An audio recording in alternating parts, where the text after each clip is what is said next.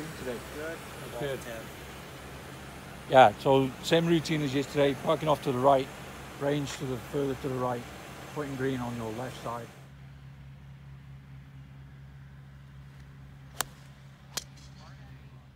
Okay, I'm gonna give you Shane Smith scorecard. Perfect. There's that. Great. Got pencils there if you'd like. Good to go. Again, and they're calling for some potential weather, oh, but if, Yeah. if there is rain or lightning, you'll hear one horn.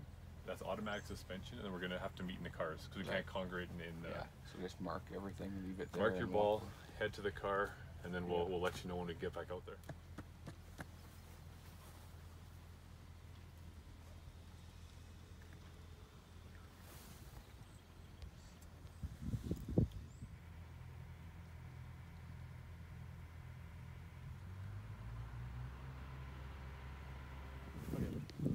Well, welcome back, guys, to the round two of the Alberta Men's Mid Amateur Championship.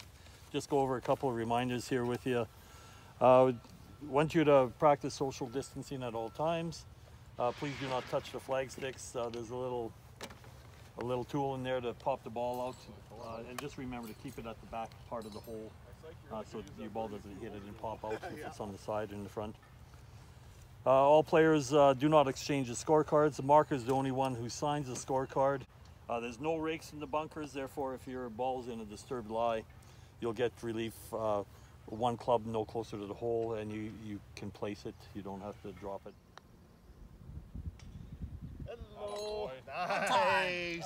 That was better than my one time. I didn't get it halfway to the hole. Good birdie. Good finish. We'll, we'll verbally confirm all the scores are correct, hole by hole. Um, and then once they're correct, the, the marker will sign it, one signature, and then when the card goes in the box, that's the player's confirmation that everything's correct and it's done.